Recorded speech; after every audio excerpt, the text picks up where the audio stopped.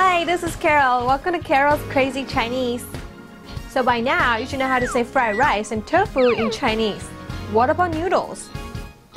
I like noodles more than rice because noodles are so much faster to cook. It symbolizes longevities and some other good lucks. So for today, let's learn how to say cooked noodles in Chinese. There are several ways you can say cooked noodles in Chinese, and we're learning one of them. 下面,下面,下. It's a verb.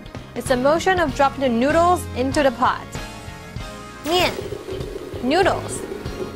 下面下面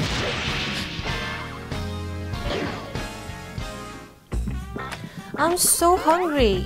我下面给你吃。 Actually, I'm full. 哦，下面好吃吗？ Hmm, it's a bit too chewy for me. 下面 Have you ever tried cooking noodles for your loved ones? Now you know how to say in Chinese, you might taste that much better. Or not. Just in case you're wondering, yes, I do read comments, so now I'm going to respond to some of you. Shadow shows. Thank you. I think you're beautiful too. Vincent. I'm sorry, but I'm the only one they could afford. You know, we're kind of a small production and we're kind of on a limited budget here. Seed cut. I'm gonna call you seed cut. Thank you. I love dinner. I also love breakfast, brunch, lunch, high tea, you know, just food in general, especially foods that are free. XO does.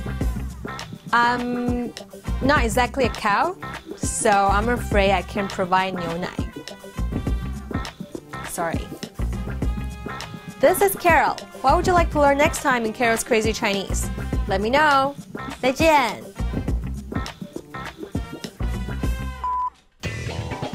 Except, not exactly a cow, because I'm not a cow, in case you haven't noticed.